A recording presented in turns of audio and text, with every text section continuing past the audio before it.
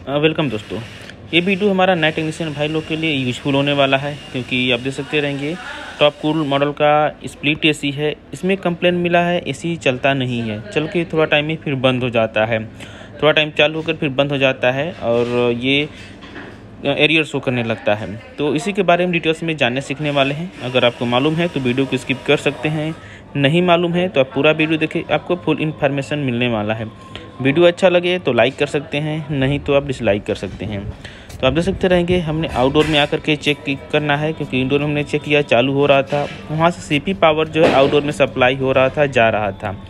तो अभी हम क्या करते हैं आउटडोर में आकर के चेक करते हैं और देखेंगे इसमें क्या प्रॉब्लम होता है। आप देख सकते हैं ये टॉप कुल मॉडल का स्प्लिट एसी है। इस तरह से तो हमने क्या किया, यहाँ पर गैस वगैरह लगा करके चेक किया है गैस मीटर लगा करके चेक किया। और यहाँ पे एसी थोड़ा टाइम चल, थोड़ा टाइम वेट करते हैं। ये चालू होता है और क्या इफ़ेक्ट देखने को मिलता है। बाकी इसका कनेक्शन वगैरह पहले देख लेते हैं। कभी भी अगर चालू होने से पहले देख लेंगे, इसमें कनेक्शन वगैरह सही है या नहीं है। कुछ शॉर्ट वगैरह तो नहीं है, अगर चालू होकर बंद हो रहा है तो। बट यहाँ पर वायर देख सकते रहेंगे। एक नॉर्मल हमारा कॉमन है ब्राउन और एक येलो और येलो जो है स्टार्टिंग है और रनिंग का।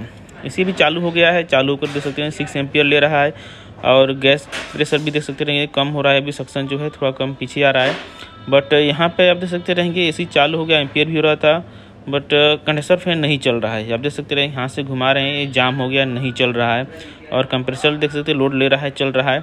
और सक्शन प्रेशर भी बढ़ रहा है। अभी गैस का प्रेशर इसका भी बढ़ रहा है और एम्पियर भी नियर बाई सिक्स एम्पियर ले रहा है। ये जो छोटा एसी है एक टन का है इसलिए सिक्स एम्पियर ही ले रहा है। अभी बंद हो गया देख सकते रहेंगे चालू होकर के ये बंद हो गया है।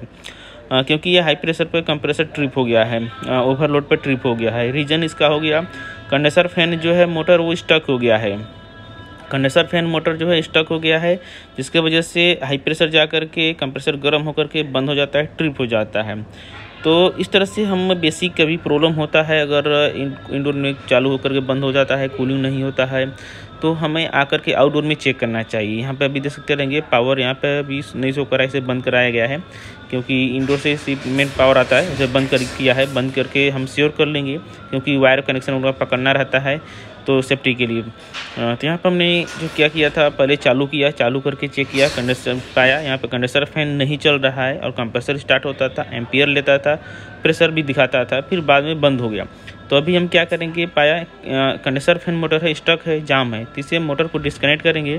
डिस्कनेक्ट करके मोटर को रिपेयर करेंगे। रिपेयर मीन्स क्या इसका बैरिंग चेक करेंगे या क्या प्रॉब्लम है, वो चेक करके उसे ठीक करेंगे।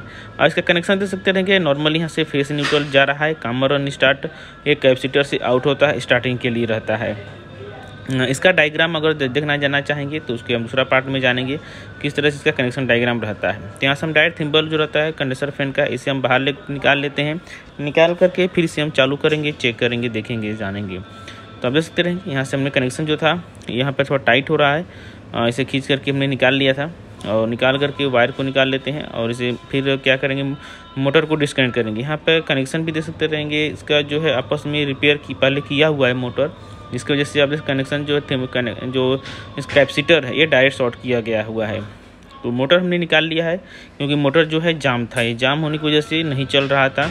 तो इसमें हम चेक करेंगे बैरिंग जाम है या फिर और भी कुछ प्रॉब्लम है। कह सकते हैं फुल जाम है। इसको स्क्रू वगैरह बेस वगैरह खोल लेते हैं तो वैसे इसके लिए और बहुत से हमारा वीडियो बना हुआ है कनेक्शन के बारे में ट्रबोशूट के बारे में रिपेयर के बारे में बना हुआ है। ये वीडियो हमारा खासकर नए टेक्नीशियन लोग के लिए है तो आप बिना स्किप किए अगर देखते रहेंगे तो आपको मालूम चलेगा क्या क्या प्रॉब्लम कैसे रहता है। तो यहाँ पे हमने क्या किया है स्क्रू मोटर को डिसमेंटल कर लिया है, बाहर निकाल लिया है। और इसको खोल कनेक्शन दे सकते रहेंगे किस तरह से।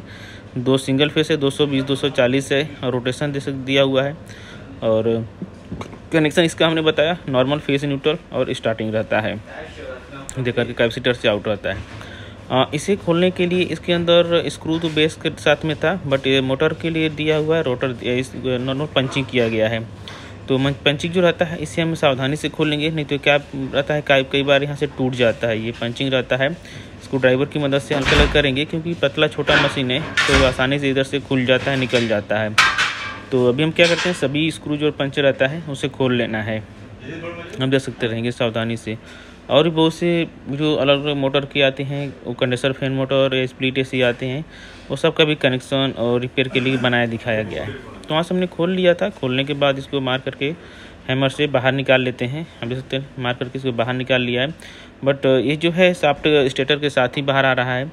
तो उसके लिए हम क्या करेंगे? वायर जो रहता है, इसे केयरफुली लगाएँगे, निकालेंगे। नहीं तो क्या होता है, ये स्टक हो जाता है, टूट जाता है ब्रेक हो जाता है, फिर प्रॉब्लम होने लगता है। तो यहाँ से हम क्या कर लेते हैं वायर को हल्का हल्का अंदर टूस करके बाहर लेते हैं। और इसके बाद फिर देखेंगे क्या प्रॉब्लम कई बार होता है, हम सावधानी नहीं करेंगे तो वायर टूट जाता है, या फिर वाइंडिंग जो रहता है, वो शॉर्ट हो जाता है। तो अभी देख सकते हैं, यहाँ से बैरिंग जो है बैरिंग के नीचे स्टक है। इसे भी मार करके हैमर की मदद से बाहर निकाल लेते हैं। ये देखिए, ये बाहर हमने निकाल लिया। और इसमें क्या प्रॉब्लम है? ये बैरिंग है, देख सकते रहेंगे। बैरिंग है। Six two zero zero Z है बैरिंग ये सामने का बैरिंग सकते स्टक है। पीछे को फ्री है। पीछे साइड से जो है फ्री है। बट फ्रंट साइड से जो है, वो पूरा स्टॉक हो गया है जाम हो गया है। आप देख सकते रहेंगे। तो अभी से बैरिंग को हमने बाहर निकाल लिया। इसके, निकालने के लिए पुलर का यूज़ कर सकते रहेंगे। पुलर हो गया या फिर हैमर की मदद से निकाल लेते हैं। तो यहाँ पर हमने निकाल लिया था और दो बैरिंग लेंगे, नया हो, नया जो बैरिंग है उससे लेंगे और वापस इसमें रिफिक्स करेंगे। फिक्स करने के लिए हम ऐसे करेंगे नॉर्मल दो के दोनों साइज़ जो सेम रहता है तो यहाँ पर हम साइज़ को जो रहता है, इसे हम फिक्स कर लेते हैं। अब देख सकते हैं, यहाँ पर हमने साइज़ जो है, इसे फिक्स कर लिया है। हम देख सकते हैं, यहाँ पर लगा करके है हैमर की मदद से थोड़ा एडजस्ट कर लेते हैं। ये ध्यान रखना है, हमें जो है, बीच में सेंटर में ही मारना रहता है हैमर इसे बाहर साइड में मारेंगे तो ये प्रॉब्लम होता है, डैमेज हो सकता रहेगा, ख़राब हो सकता रहेगा। यहाँ से हमने इसको क्या कर लिया तो उसके लिया ये भी स्टक जाम हल्का नॉर्मल कई बार इसे हाथ से भी नहीं जाना चाहिए, ज़्यादातर हाथ से जा रहा है ये भी लूज माना जाएगा, ख़राब हो सकता रहेगा। तो यहाँ पे इसको थोड़ा हैमर की मदद से पाइप की मदद से इसे टाइट करते हैं। ये पाइप वगैरह इसे, इसके लिए स्पेशल टूल्स भी आते हैं बैरिंग फिट करने के लिए, जो प्लास्टिक के रहते हैं, जिससे ख़राब ना हो। बट बैक साइड में है इसको हम ले सकते रहेंगे। सावधानी से वो साइज़ का हमने इसमें बनाया हुआ ऑलरेडी तो उसे भी फिक्स कर लिया गया है। ये दो के दोनों आगे पीछे हो गया है। फिक्स बैरिंग हो गया है। वापस हम क्या करते हैं, इसके अंदर जो वाशर है, उसे फिक्स करेंगे।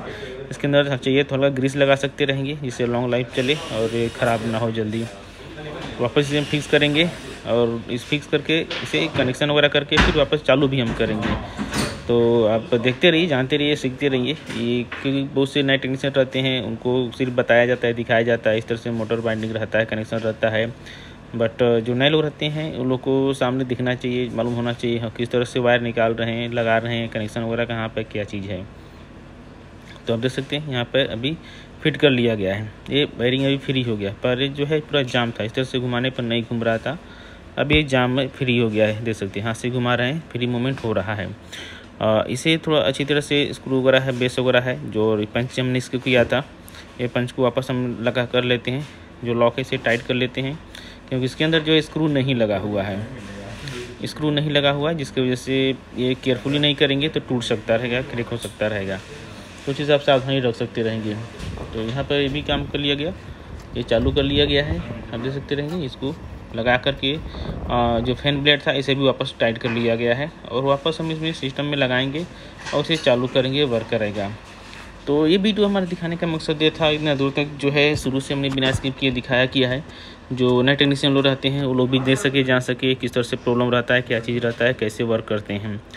तो वे देख सकते हैं सिस्टम हमने फिक्स कर दिया है रेडी हो गया है। और ये फ्री मूवमेंट हो रहा है, चल रहा है। इसे अभी स्टार्ट करेंगे वर्क करने लगेगा, चलने लगेगा। तो ऐसा करता हूँ आपको जो कुछ इन्फॉर्मेशन मिला रहेगा। इसी तरह से और जानकारी के लिए हमसे जुड़ रहे हमारे चैनल सब्सक्राइब करें। सब्सक्राइब करने के बाद जो बेल आता है आल नोटिफिकेशन आता है, उसे ऑन ज़रूर करें। ये वीडियो का फीडबैक दीजिए, कुछ जानकारी मिला या नहीं मिला, आगे क्या चीज़ के बारे में जानना सीखना चाहेंगे। तो यहाँ पर मीटर एम्पियर वगैरह सब कुछ लगा करके रेडी कर लेते हैं चेक करेंगे वर्क कर रहा है या नहीं कर रहा। अब देख सकते फिर चालू हो गया सिक्स एम्पियर ले रहा है नॉर्मली और प्रेशर भी देख सकते रहें कम हो रहा है। पहले भी सेम था बट उस क्या होता है, चालू फ़ैन नहीं चल रहा था, वो स्टार्ट होकर के हाई एम्पियर जा रहा था। अभी देख सकते हैं नॉर्मली है ये लॉन्ग टाइम तो नॉर्मल चल रहा है प्रेस हो रहा है प्रेस क्योंकि मोटर जाम था। तो आशा करता हूँ आपको कुछ इन्फॉर्मेशन मिला। ये वीडियो नए टेक्नीशियन नए लोग के पास शेयर करें, जिससे और लोग भी जान सके, देख सके, सीख सकें। और इसी तरह से और जानकारी के लिए हमसे जुड़ रहे। हमारे चैनल सब्सक्राइब कर सकते हैं। सब्सक्राइब करने को जो बेल आता है आल नोटिफिकेशन आता है उससे ऑन ज़रूर करें। गैस का प्रेशर दे सकते हैं सिक्सटी फाइव पी है नॉर्मली सक्शन प्रेशर जो है सिक्सटी फाइव पी है और ये सही तरीके से वर्क कर रहा है और करेगा भी, इस तरह से रहेगा तो नॉर्मल यहाँ से कंडेंसर फ़ैन हवा भी दे सकते रहेंगे चल रहा है फ़ैन पहले नहीं चल रहा था पहले नहीं चल रहा था, अब ये चल रहा है। तो इसी तरह से जानकारी से हमसे जुड़े रहें, चैनल सब्सक्राइब करें। सब्सक्राइब करने जो बेल आता है ऑल नोटिफिकेशन आता है, उसे ऑन ज़रूर करें। अगर आप ऑनलाइन कोई सा भी टूल्स स्पेयर पार्ट खरीदना चाहते हैं तो नीचे डिस्क्रिप्शन में दिया हुआ है विज़िट करके आप बाई कर सकते रहेंगे। बहुत से टूल्स का ऑफ़र चल रहा है। तो आज आपका दिन सुबह थैंक यू फॉर वॉचिंग